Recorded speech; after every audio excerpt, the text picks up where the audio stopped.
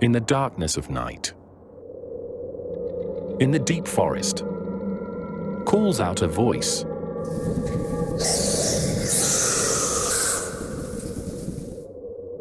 A lingering hunger. The insatiable desire to consume human flesh. This is the domain of the Wendigo, a creature born from the darkest corners of human desperation and depravity. It was once a man, but no longer. It is a malevolent creature, a supernatural spirit, with an appetite so ravenous, it will stop at nothing.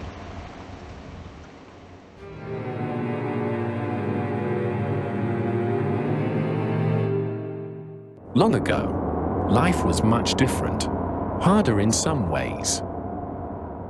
This was before any European set foot on North American soil. The land was indifferent.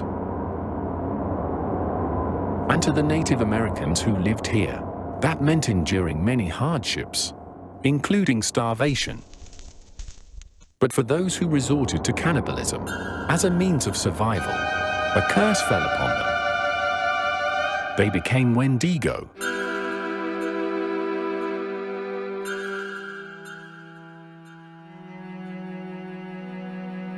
It is said the first Wendigo was an Algonquian hunter. The hunter and his party became lost during a brutal winter storm. Starving and desperate, the hunter resorted to cannibalism, consuming the flesh of his companions. This act unleashed a curse, and the hunter became a Wendigo. He grew tall and emaciated, his eyes sunken, and his teeth jagged.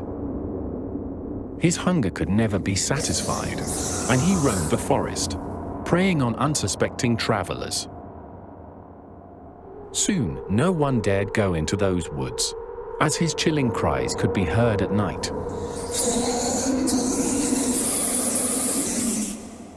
Stories, such as this, come from the cold, forested regions of the North American continent, primarily among the Algonquian-speaking peoples.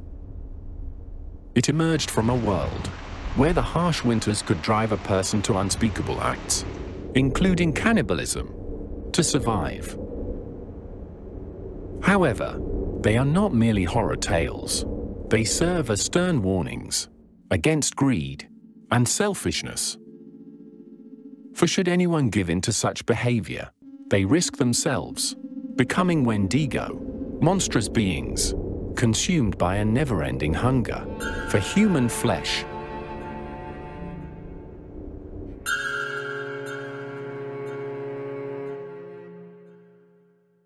As a spirit, the Wendigo is seen as a manifestation of greed, gluttony, and the darker aspects of human nature. It is said to possess individuals who succumb to these vices, driving them to commit acts of violence, cannibalism, and other atrocities. In this context, it becomes a metaphorical representation of the destructive consequences of unchecked desire and moral corruption. For some, though, the Wendigo is also a physical entity, an embodiment of the supernatural a creature that prowls the wilderness, preying upon unsuspecting persons who venture too far into the untamed reaches of the forest. In this regard, the Wendigo appears as a towering monstrosity with antlers or horns. Its gaunt frame, like a skeleton, with yellow, decaying skin, and its eyes, glowing from within their deep sockets. In spite of this, the Wendigo possesses incredible, supernatural strength and endurance, moving with lightning speed and agility in the forest. Wendigo lore is filled with eerie and terrifying encounters, but one particularly chilling story tells of a group of hunters who wandered off the beaten path The party was hunting game, but found themselves in an unfamiliar part of the forest. As they traveled, they heard strange, guttural sounds echoing through the trees, and an ominous feeling settled over them. Ignoring their unease, the hunters pressed on until they stumbled upon a small clearing where they discovered the remains of a campsite. They assumed the camp had been abandoned, but upon closer inspection, discovered a grisly scene. Strewn about were the torn and mangled bodies of several people, their flesh gnawed to the bone. Horrified, the hunters realized they had stumbled into the domain of a Wendigo. Just as they were about to flee, they heard a haunting voice, calling out from the darkness. It whispered promises of warmth and sustenance, urging them to stay and join in its feast. Frozen with fear, the hunters watched as a distorted shape emerged from the shadows. A grotesque form with sunken eyes and elongated limbs, its mouth dripping with blood. The hunters fled, running as fast as they could. Even so, some say they were never seen again. Others claim they were driven mad by the encounter. Another fascinating tale is that of a warrior on a hunting trip. It was the dead of winter and game was scarce, so the warrior had to go deeper into the forest than usual. He had heard tales of a Wendigo, possibly inhabiting these parts, but desperate times forced his hand. Reluctantly, the warrior plodded through the snow, up to a small hill, connecting a clearing. A foul odor was about, and the warrior sensed something was amiss.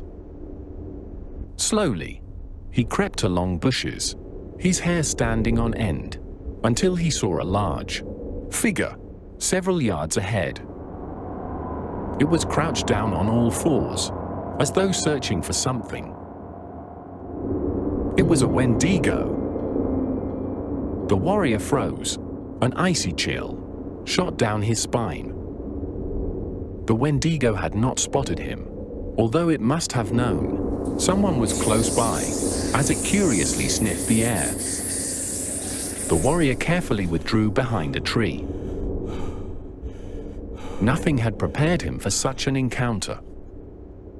He thought to run away, but a Wendigo is much faster than any human. There was but one choice.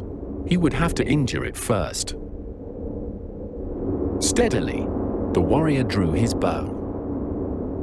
His aim was true, as he let loose the arrow, and the mark it found. Yet the outcome was inadequate. The arrow merely ricocheted, off the Wendigo's thick hide. In a fit of rage, the creature darted toward the direction. The warrior was hiding.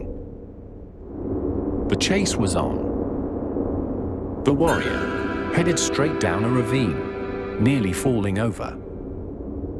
As he ran, he could sense the monster getting ever so close.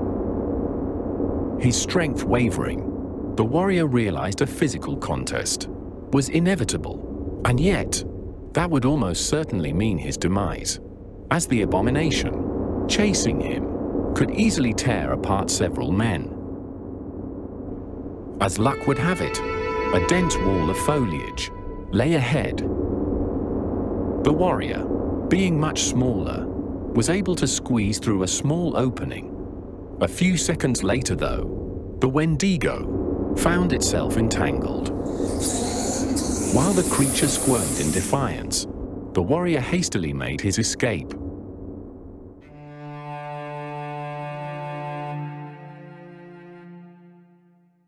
However, not all Wendigo accounts are limited to lore. In the context of real, historical records, there are equally chilling events. One account is that of Swift Runner, a Cree trapper who lived in what is now Alberta, Canada. In the winter of 1878 through 1879, Swift Runner was residing with his family in a remote cabin near Fort Saskatchewan in the Canadian wilderness.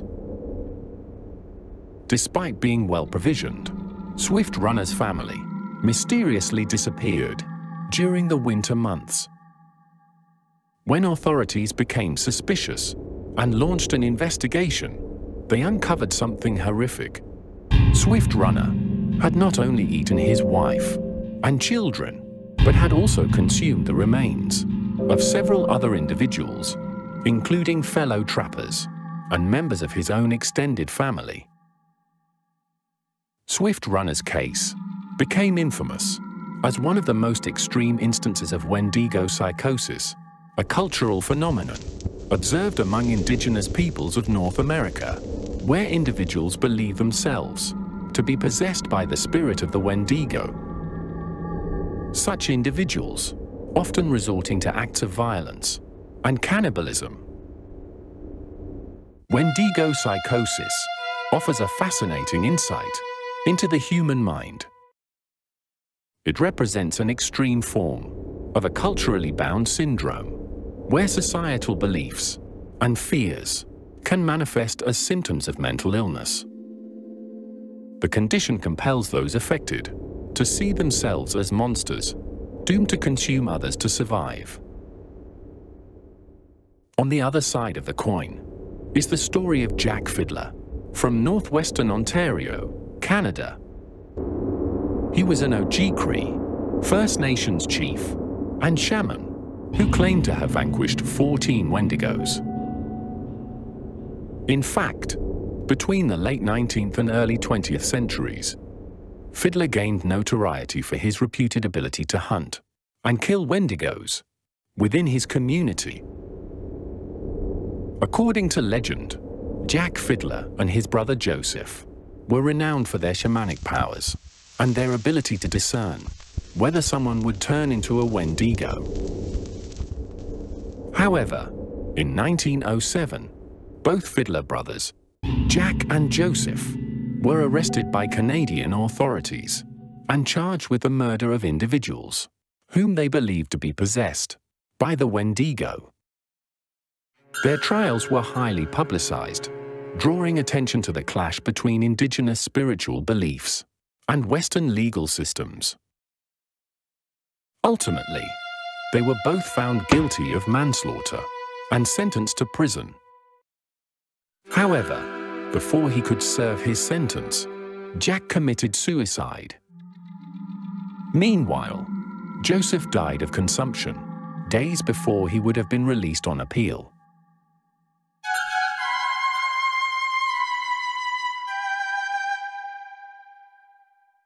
Of all the traits surrounding the Wendigo, that hunger is most riveting. It is often depicted as a voracious appetite a primal instinct that overrides all other considerations, such as morality, empathy, and self-preservation.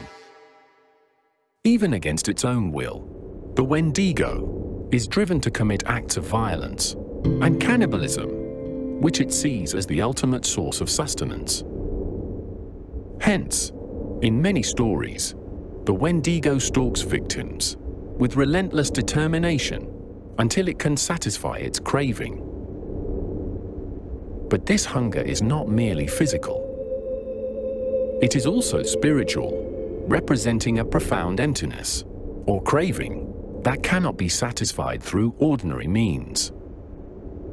As well, it represents the destructive consequences of unchecked desire, greed, and gluttony, the darker aspects of human nature. Overall, the hunger of the Wendigo serves as a central motif in indigenous folklore, embodying the dangers of moral corruption, spiritual decay, and the violation of sacred taboos.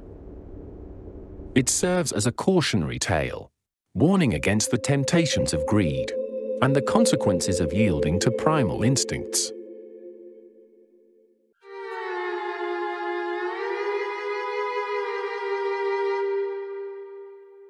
modern thoughts on the Wendigo vary widely depending on cultural, scholarly, and individual perspectives. Many people primarily view the Wendigo as a fascinating figure from indigenous folklore and mythology, appreciating its role in traditional stories and legends. From this perspective, the Wendigo is seen as a symbol of the natural world and the human psyche, embodying themes of greed, hunger, and the struggle between civilization and the wilderness. Some individuals and communities seek to preserve and honor indigenous folklore, including stories of the Wendigo, as part of their cultural heritage. They may view the Wendigo as an important aspect of indigenous identity and a valuable source of cultural knowledge and wisdom. The Wendigo has also found its way into modern literature, film, and other forms of popular culture, where it often serves as a powerful and terrifying antagonist. In these contexts, the Wendigo may be portrayed in a variety of ways, ranging from a literal monster to a metaphorical representation of psychological or societal themes. Anthropologists and historians have noted that Wendigo legends are particularly prevalent in times of scarcity and are thought to reinforce social taboos against selfishness. This persistent relevance speaks to the Wendigo's power as a symbol it challenges us to consider how much of our humanity we are willing to sacrifice for survival or gain. Thus, the Wendigo is not just a monster, but a mirror reflecting our darkest fears. Thank you for watching. We hope you found this video entertaining. We're a small channel that would appreciate your support. Please hit the like button. Also, let us know what you think in the comments below. Best of all, subscribe